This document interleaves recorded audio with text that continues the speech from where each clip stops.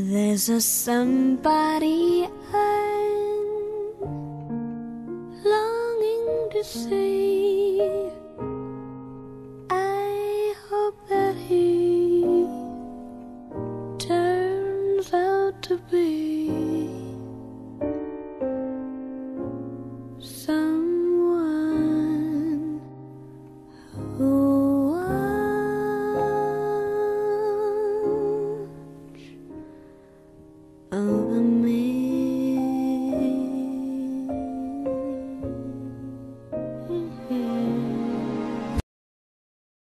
Really does. Yeah, well, we uh, we had a strange first date because our first date was really at the end of a class that we were in together, and I was walking out, and he followed me out and started talking to me, and it was at the end of the semester. It was 1971, and I had to go register for the classes for next year at law school. So I was standing in line. He was talking to me, and I got up and I and I said, "Well, you you going to register too?" And he goes, "Yeah, yeah." And so we got up to the registrar's desk, and this really nice woman said, "Well, Bill, you were just here." He goes, "No, don't say that." So, so I registered, and then um, he said, "Well, you want to go, you know, get something to drink?" And so we went for a walk, and we started walking, and we walked and we walked. I mean, literally for an hour. Did he kiss you?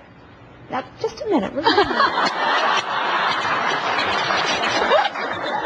that that was later. Later. Yeah, Okay. was still in the afternoon. Oh, okay. Yeah.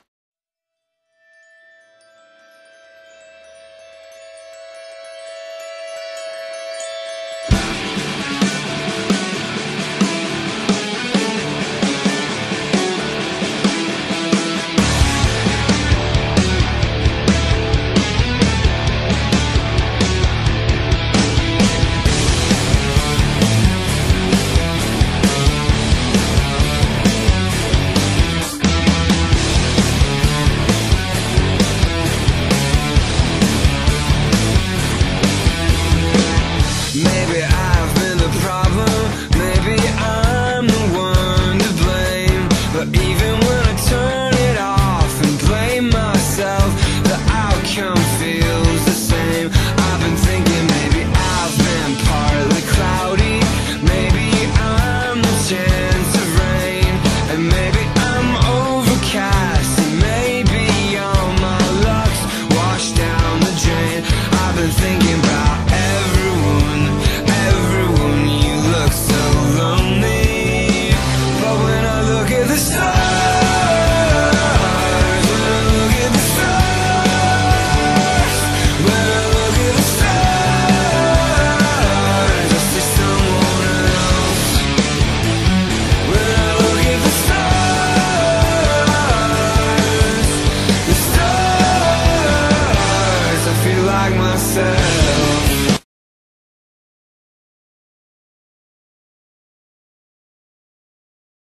For 35 years, I have been making positive differences in people's lives.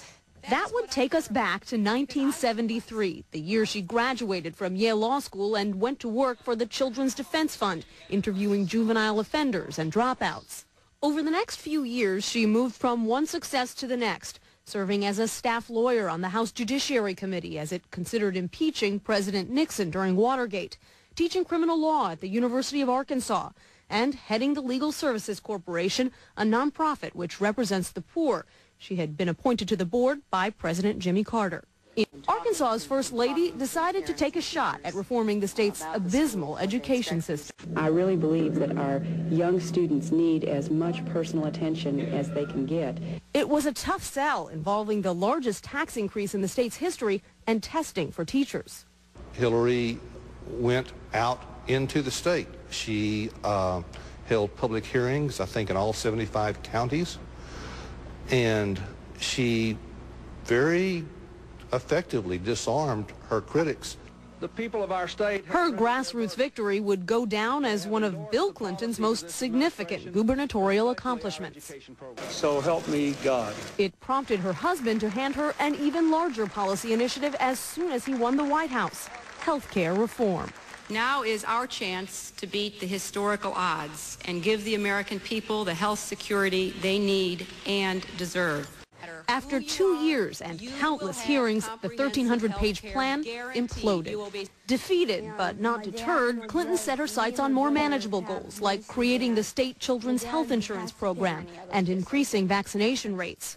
And behind the scenes, she got the last word on so many issues, staffers had a nickname for her, the Supreme Court. Nothing but the truth. It was her idea to tap Janet Reno for Attorney General and Madeleine Albright for Secretary of State. She had grave reservations about NAFTA, was probably against it, thought it originated correctly that with Republicans. I've been to more than 82 countries. Mrs. Clinton likes to cite her extensive travel, more than 80 trips as First Lady, as part of her foreign policy experience. She promoted microfinance in Latin America, peace in Bosnia, and famously, human rights in China.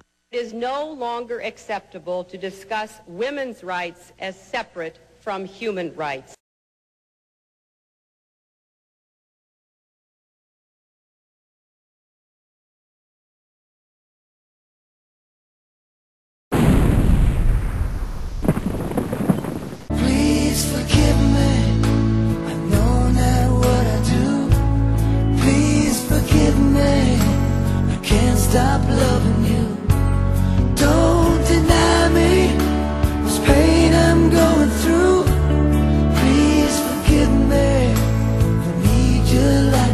Did you persevere during the darkest moment in your life?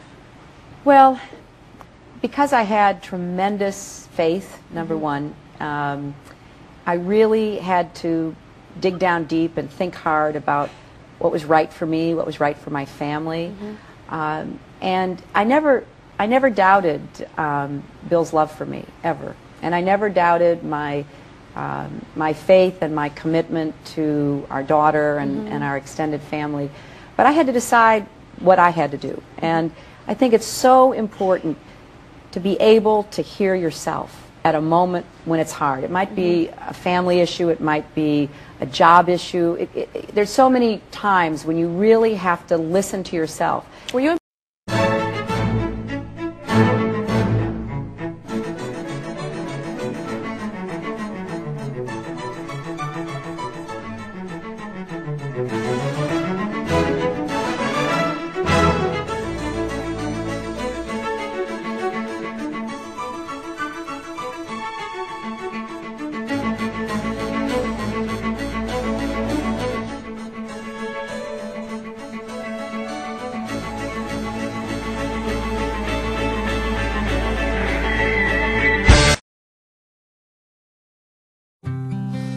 Always said I would know where to find love. Always thought I'd be ready and strong enough. But sometimes I just felt I could give up. But you came and you changed my whole world now. I'm somewhere I've never been before. Now I see So unbelievable. And I don't wanna let it go. Something so beautiful, flowing down like a waterfall.